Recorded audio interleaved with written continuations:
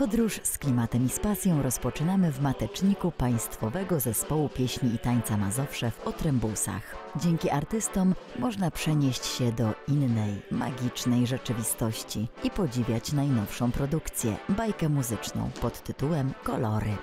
To roztańczona, rozśpiewana i dowcipna opowieść o dwóch gwiazdach, które pewnego dnia spadają z nieba i lądują w świecie, w którym ich wygląd i zachowanie nie pasują do otoczenia. Mazowsze pracuje teraz zupełnie inaczej, a jak? Zdołaliśmy podpatrzeć ich z kamerą przy pracy. Choć scena pełna emocji i barw, widownia jednak inaczej niż zazwyczaj nie jest wypełniona po brzegi. Dlaczego? Właśnie trwa transmisja wydarzenia online. Przygotowaliście Państwo jako Mazowsze także niespodziankę dla najmłodszych w tym roku. Tak, pomimo tych trudnych czasów zdecydowaliśmy się na premierę, właściwie prapremierę światową, bo tekst pisany specjalnie dla Mazowsza, kolory. Autorką libretta jest pani Grażyna Lutosławska. Muzykę skomponował Marek Kuczyński. Mamy nadzieję, że spektakl odbierany znowu przez przekaz internetowy mm, podobał się, a my z utęsknieniem czekamy na moment, kiedy będziemy mogli pokazać ten spektakl widzom na widowni.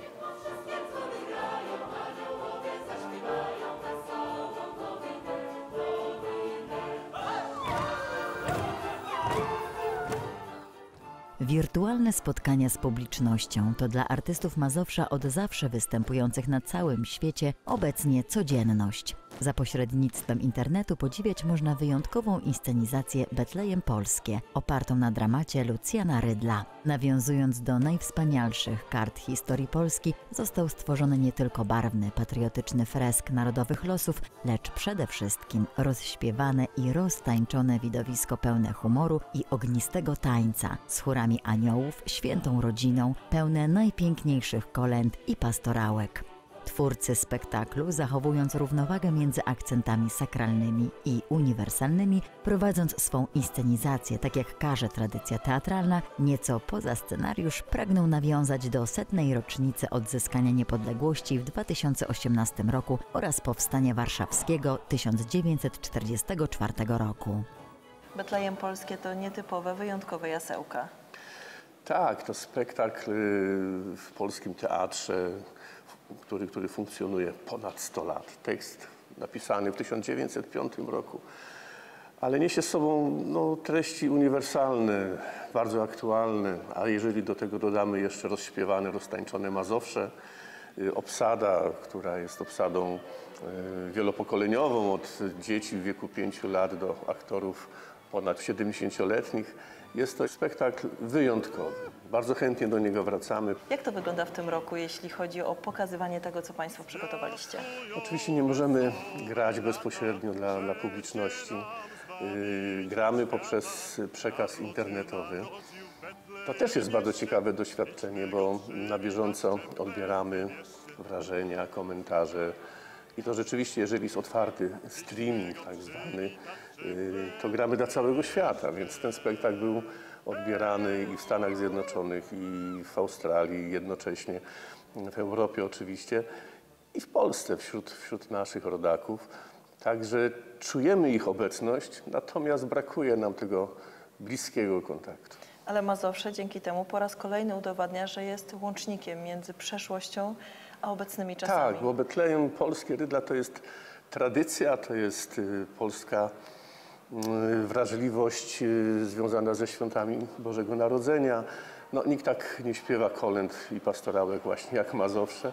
Rydlowskie Betlejem dzieje się jednocześnie w trzech planach czasowych: w polskiej współczesności, w naszej rodzimej historii i w czasach biblijnych. Jest wpisane w polski krajobraz i rzeczywistość historyczną, ożywia przeszłość. Jezus rodzi się tu wśród polskiej zimy, a Betlejem leży w Polsce. Może gdzieś w Małopolsce, a może na Kaszubach. Biblijny Herod nie jest tylko władcą starożytnej Palestyny, lecz ciemiężycielem Polski i rusyfikatorem. Betlejemscy trzej królowie to nasi władcy. Kazimierz Wielki, Władysław Jagiełło i Jan III Sobieski. Ten dramat Rydla został okraszony wspaniałymi tańcami i myślę, że, że jest bardzo dynamiczny, kolorowy, dzieje się w trzech różnych przestrzeniach. y, Scena pasterska, scena herodowa, no i żółbek, adoracja żółbka. Ile osób przygotowuje wspólnie to przedsięwzięcie? No, biorąc pod uwagę wszystkie zespoły, czyli orkiestry, chór, balet, solistów i aktorów, którzy wywodzą się właśnie z zespołu y, Mazowsze, no to jest około 130 wykonawców. Także sporo. Czy aktorzy się zmieniają? Od 2018 roku zmienili się? Y, Nie, zmienia się obsada dziecięca, bo nam za szybko rosną dzieciaczki. Natomiast y, y, pozostałe postaci jak gdyby są grane przez tych samych odtwórców. Nie bez powodu Mazowsze nazywany jest ambasadorem polskiej kultury. To największy zespół artystyczny na świecie, który przemierzył już blisko 2,5 miliona kilometrów, dając niemal 7 tysięcy koncertów w 50 krajach na 6 kontynentach dla 23 milionów widzów. Podczas każdego spektaklu prezentują około 20 tańców z różnych regionów Polski i przebierają się od 7 do 10 razy. W sumie zabierają na jeden koncert około tysiąca kostiumów. Liczba nagród i odznaczeń polskich oraz zagranicznych dawno przekroczyła 50. Zespół pracuje teraz tylko w Polsce, a jeszcze dokładnie rok temu artyści występowali w Islandii. Opowiedzmy jeszcze o wyjazdach Mazowsza, wylotach właściwie. Jak to wygląda? Bo wiem, że czasami zespół, właściwie wszyscy od Państwa z ekipy muszą latać kilkoma samolotami. y, Osobno No sprzęt, tak. osobno stroje. Jak to wygląda? Jest to dosyć duża logistyka, bo, bo są takie kierunki, no i żeby nie szukać daleko, opowiem o, akurat o, o wyjeździe, który odbył się rok temu, dokładnie o tej porze, byliśmy w Islandii. I ta logistyka e, no była skomplikowana, to był też okres taki świąteczny, grudni, przed, tuż przed świętami Bożego Narodzenia, więc, więc zespół artystyczny, poleciało nas tam trochę więcej niż 100 osób, chyba 120 o ile się nie mylę, bo oprócz chóru e, i orkiestry w pełnym składzie też grupa techniczna, no, kierownictwo zespołu, więc tych osób się trochę nazbierało. No nie mogliśmy kupić niestety bilety na, na jeden samolot, bo samoloty są zwykle przeładowane o tej porze roku, więc lecieliśmy tam korzystając z trzech różnych połączeń lotniczych. Z przesiadkami oczywiście, każda grupa przesiadała się w różnych miejscach, część w Londynie, część w Oslo, część bodajże w Kopenhadze. Stamtąd lecieliśmy do Islandii. Nasz bagaż artystyczny wyjechał wcześniej, na nasze kostiumy, część instrumentów. Było specjalne cargo wysłane z Amsterdamu. Też spóźniło nam się o jeden dzień, no bo loty techniczne takie na Islandii odbywają się tylko dwa razy bodajże w tygodniu. Akurat nie wstrzeliliśmy się w ten pierwszy termin, czekaliśmy na drugi, ale z obawą, czy to doleci w ogóle. No ale udało nam się wszystko tak, że zapięliśmy to na ostatni guzik przysłowiowy. Czy repertuar został tak dobrany, żeby e, akurat artyści mogli nosić e, te stroje, a nie inne? Bo słyszałam, że niektóre stroje są tak ciężkie, że rezygnowano z niektórych utworów, bo po prostu te paczki, te skrzynie byłyby za ciężkie. No tak, to, to zdarza się, zdarza się w przypadku e, szczególnie wyjazdów całego zespołu, kiedy, kiedy jest z nami jeszcze balet, kiedy prezentujemy pełny nasz koncert, czyli kalejdoskop barw Polski, bo wtedy prezentujemy około 20 regionów w czasie jednego koncertu, no i tych kostiumów mamy tak trochę powyżej tysiąca, a w w przypadku lotów za granicę i w przypadku cargo, no każdy kilogram jest na wagę złota, bym powiedział, bo jest bardzo cenny e, i, mm, i wtedy są zawsze dyskusje, tak, które kostiumy zabieramy, czy te, które są ładniejsze, czy te, które są lżejsze, ale zwykle wygrywają te jednak ładniejsze. No, w przypadku Islandii no, nie było mowy o tym, żeby poleciał jakiś inny kostium, dlatego że no, kostiumem reprezentacyjnym dla Mazowsza jest kostium łowicki, który pomimo tego, że waży 14 kg, damski kostium, no jest przepiękny. Także no nie zastanawialiśmy się nad tym i oczywiście w tych kostiumach wystąpiliśmy. Zespół współtworzył na ekranie film nominowany do Oscara Zimną wojnę w reżyserii Piotra Pawlikowskiego. Dla artystów była to niesamowita przygoda. Byłem partnerem e, Jasi Kulik, tańczyliśmy razem i na próbach, kiedy Jasia już nie dawała rady, to ja mówiłem, Asia, nie bądź taka skapciała, zaczynamy od początku. I ta skapciała, tak do niej przygnęło i wtedy się pobudzała i zaczynała tańczyć. Niesamowite wrażenie zobaczyć siebie na, na dużym ekranie, tak? W całkiem innej roli, bo całe życie tańczę, a to jednak gdzieś jakieś wyzwa, wyzwanie aktorskie. Więc to jakbyśmy na premierze, to tak cały film siedziałem i bez mrugnięcia okiem. Naprawdę niesamowite wrażenie. Zobaczyć się w innej roli ucharakteryzowanego na lata 50. Mazowsze z pewnością odgrywa ogromną rolę w ocalaniu zanikającego dziedzictwa. Wnosi do kultury europejskiej pierwiastek narodowej odrębności. W dobie pandemii udowadnia także, że choć nawiązuje do przeszłości, doskonale odnajduje się we współczesnym świecie.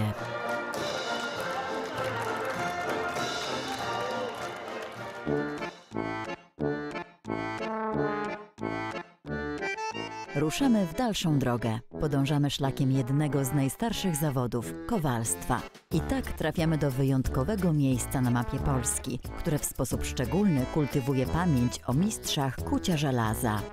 Odwiedzamy kuźnię we Wojciechowie, która powstała w 1920 roku, dokładnie 100 lat temu. Rodzinną kowalską pasję kontynuuje tu Roman Czerniec. Dawniej zakres działalności wiejskiego kowala był bardzo szeroki. Poza wyrobami z żelaza zajmował się on podkuwaniem koni, a także lecznictwem. Na przykład przy pomocy kowalskich kleszczy usuwał bolące zęby.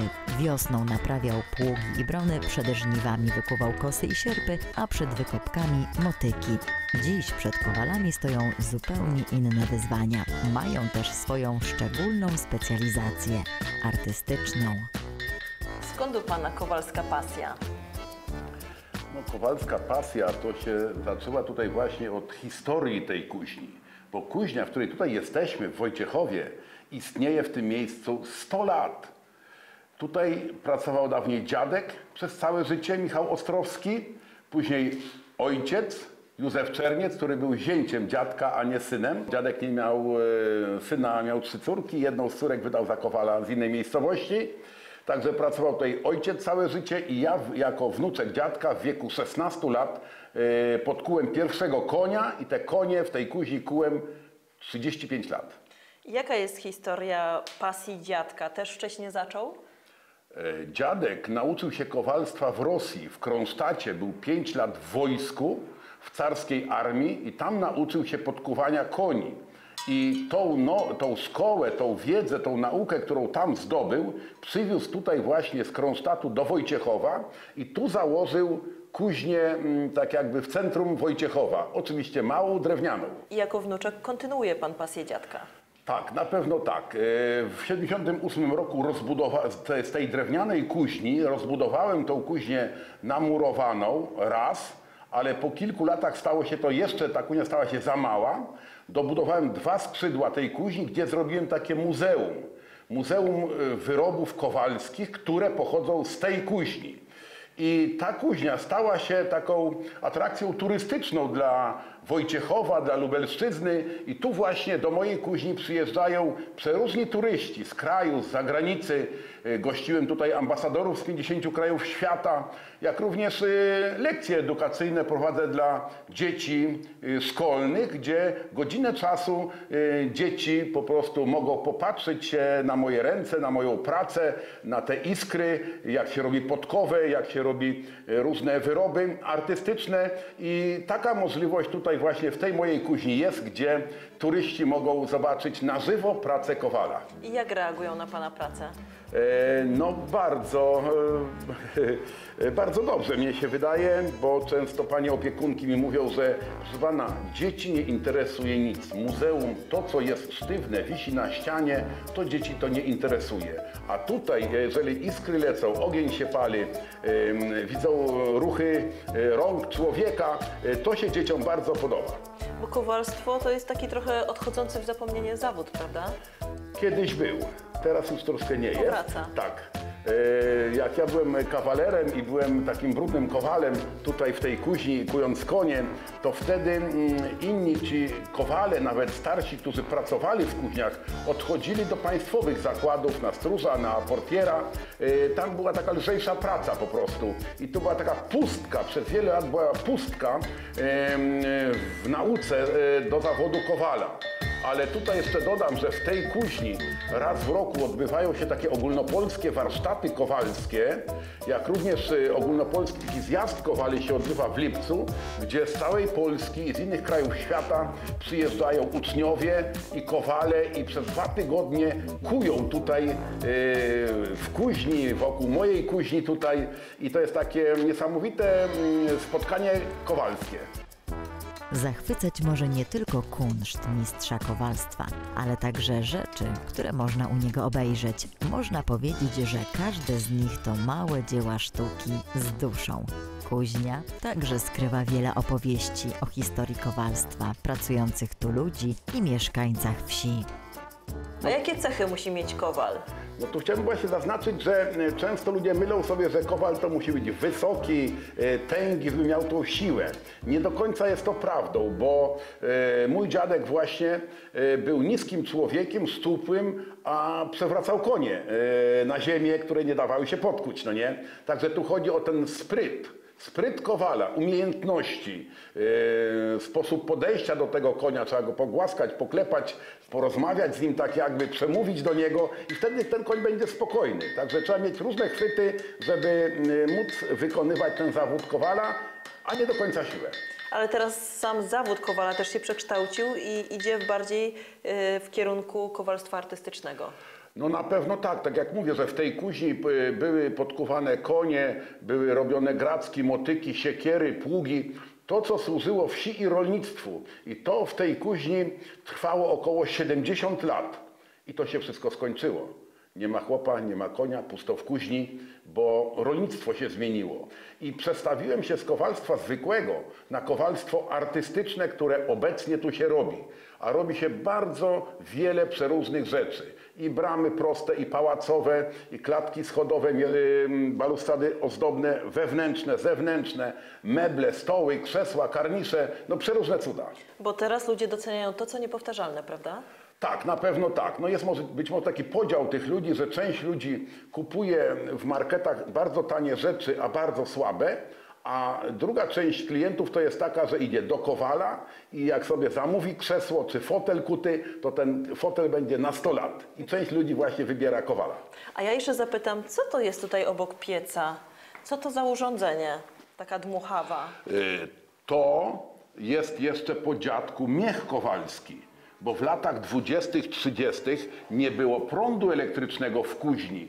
Kowal nie mógł sobie pyknąć szpyczkiem, żeby ten wiatr dmuchał. I taki miech służył do nadmuchu paleniska. Cały dzień trzeba było tak tym kijem ruszać, żeby napędzić wiatr do tego paleniska. To działa tak jak akordeon. Wydobywa z siebie wiatr. I dziadek przez wiele lat to palenisko napędzał takim miechem. E, Dziadek, jak byłem mały, dziadek mi opowiadał, że 12 takich drążków dębowych mu się wytarło w tym miejscu od ręki. Nie ręka człowieka, tylko drążki dębowe co kilka lat musiał wymieniać, bo się wycierały. A teraz naciska się guzik palcem, wiatr dmucha od spodu i miech jest niepotrzebny. Ale jest to na pewno e, ciekawy taki instrument e, u kowala. Mówi się, że trzeba kuć żelazo póki gorące, Tak więc czekamy, aż Pan nam coś teraz pokaże. Rozwój kowalstwa na terenie Polski nie był jednolity. Warunki historyczne i gospodarcze spowodowały, że proces rozpowszechniania się i dalszego rozwoju wyrobów żelaznych na wsi kształtował się rozmaicie. W województwie lubelskim kowalska pasja, jak widać, przetrwała i ma się dobrze. Właśnie dzięki takim mistrzom. Roman Czerniec profesję kowalską zna od podszewki i chętnie dzieli się jej tajnikami z innymi, między innymi podczas warsztatów rzemiosła dla dzieci i dorosłych. Postanowił również sprawdzić, czy Marysia nadawałaby się na kowala.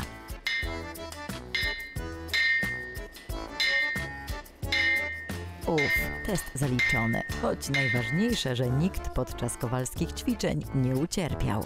Po pracy nie zabrakło także czasu na chwilę przyjemności. W końcu po ciężkiej pracy odpoczynek się należy. Na tym kończymy naszą podróż. Odwiedzone miejsca oznaczamy na naszej mapie z klimatem i z pasją. Czas wypocząć, by wkrótce znów ruszyć w drogę. Do zobaczenia. Tak, żeby niczego nie spierniczyło. Wie pan, takie lekkie prace, jakby mogła powadło przenieść albo coś takiego. Tak. tak.